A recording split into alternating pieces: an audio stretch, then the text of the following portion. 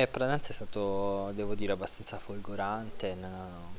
Ho iniziato danza tardi, ho iniziato a 16 anni, ma è stato proprio un amore a prima vista. Mi, mi- piaceva questa idea di dedizione, e mi piaceva l'idea che mm, il corpo potesse in qualche modo nascondere un segreto e quindi raccontare o esprimere cose in qualche modo indicibili e non chiare. E mm, quando l'ho scoperta per me era proprio, non ho potuto fare più a meno, è stato proprio un percorso senza interruzioni. E ho sperimentato ma, varie forme di danza finché in qualche modo col tempo sono riuscito a trovare ehm, delle forme, delle modalità di, di danza che in qualche modo erano più vicine alla mia sensibilità e piano piano ho cominciato in qualche modo a immaginare e a produrre una mia danza personale e a trasmetterla. Sono, mm, mi affascina, mi affascina la capacità non di dire delle cose della danza, ma per lo più in qualche modo di evocarle. Sono- ho passato sempre la vita osservando gli altri, nel senso, eh, mi sono sempre domandato mh, cosa si potesse nascondere dietro magari uno sguardo, un gesto, una modalità eh, di muovere il proprio corpo, percepire il proprio corpo, di assumere delle posture. Ed è una, come posso dire, una passione che mi ha sempre, mh, ehm, col- è una cosa che mi ha sempre attratto, anche quando per me la danza non esisteva, quindi è proprio una predisposizione naturale.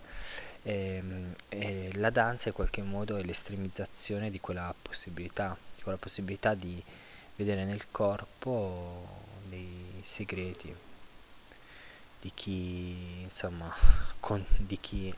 è presente in quel corpo, di chi vive quel corpo. Eh, non ci può mentire, sicuramente, perché parla, insomma, un linguaggio unico. Ehm, è più facile mentire con eh, la parola che con il corpo. Oh, sono sempre stata una persona estremamente timida, estremamente introversa, in realtà in parte lo sono ancora. E spesso, insomma, il rapporto tra pensiero e esposizione linguistica del pensiero è, un- è un- per me un rapporto contorto spesso, no? E, e quindi per me la danza è diventata una maniera, un sistema per mm, affrontare anche queste problematiche, nel senso per... mm, è stato un mezzo con cui ho fatto anche un, un percorso personale di crescita, di crescita e penso insomma che lo possano fare tutti perché mm, è un mezzo estremamente importante. Nel senso molto spesso non, eh, perdiamo il contatto con eh, il mondo delle sensazioni, il mondo sensoriale, entriamo in una stanza, non osserviamo sempre meno il prossimo, ehm, il rapporto empatico tende insomma a essere sostituito magari da un rapporto telematico, le relazioni eh, diventano sempre eh, di maggiore consumo, eh, con un click, no, in qualche modo. E invece la danza, insomma, richiede un rapporto di vicinanza, un rapporto, ri- richiede quello sguardo empatico, il- la danza richiede una grande esposizione da parte del, del performer e chiede al pubblico lo sforzo di, non guar- di guardare oltre l'apparente in qualche modo di sviluppare chiede di porre attenzione ai dettagli e lo chiede anche con una certa, insomma, in qualche modo forza, no? Proprio ti, ti urla di farlo. E quindi, insomma, penso sia veramente un- in questo momento un- una possibilità meravigliosa. Ehm, lavorare con la danza, mm, sia vabbè, io lavoro molto con me stesso, ma insomma anche in tutti i percorsi di trasmissione, di insegnamento, che eh, sia con professionisti, ma anche con amatori, con gente che semplicemente vuole fare un'esperienza fisica sensoriale, quindi non necessariamente persone che vogliono crescere professionalmente. E spesso diventano anche delle esperienze particolarmente rilevanti eh, perché ti portano a entrare anche eh, come posso dire, in contatto con una semplicità del gesto, ti impongono di sottrarre ancora di più la tua conoscenza legata, non so, ai grandi meccanismi del corpo, no? alle grandi, grandi virtuosismi, per in qualche modo affondare, sprofondare in qualcosa di più semplice, ehm, di più fragile e di più essenziale, forse. Mm, per quanto riguarda mm, eh, i ragazzi del CIM, incubatore per giovani coreografi, il nostro scopo principale appunto non è porsi una, come una qualità di insegnanti, eh, ma sostenerli in tutti quei processi che possono indurre loro a diventare in qualche modo maestri di se stessi, a trovare la loro strada, a um, perfezionare il loro pensiero e mm, quindi noi, facciamo, noi rappresentiamo semplicemente dei veicoli per loro, degli strumenti da utilizzare per trovare la loro personale poetica che non necessariamente coincide con,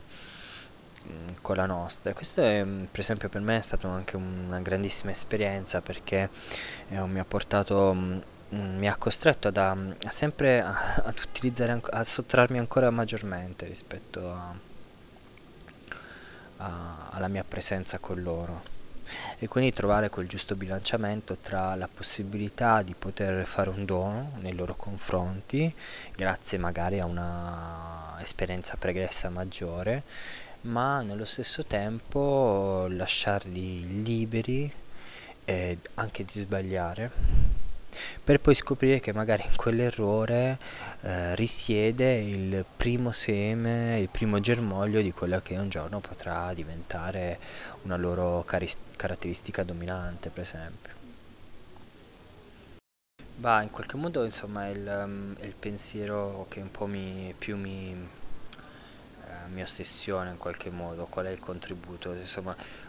vivo nel piccolo ovviamente, quello che faccio come comunque è una forma di responsabilità.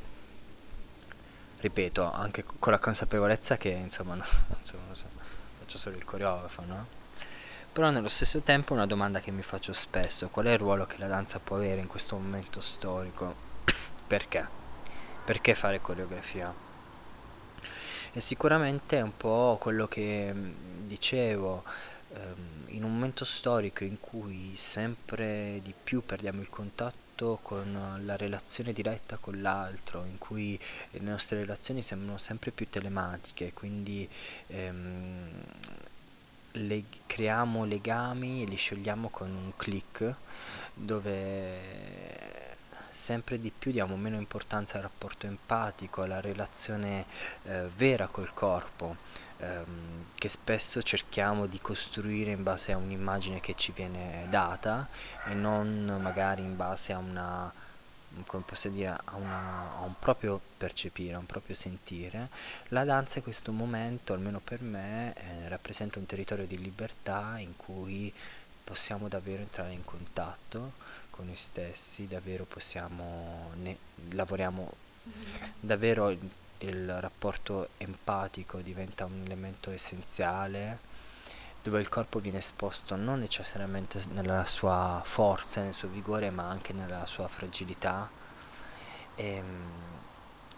e dove è un luogo in cui viene richiesto al pubblico di davvero osservare l'altro, veramente dedicare un tempo all'osservazione e allo scambio. Un processo in cui sia chi viene guardato e sia chi guarda ehm, coesistono in un mondo, in un tempo, grazie all'esistenza di entrambi i poli in qualche modo. No?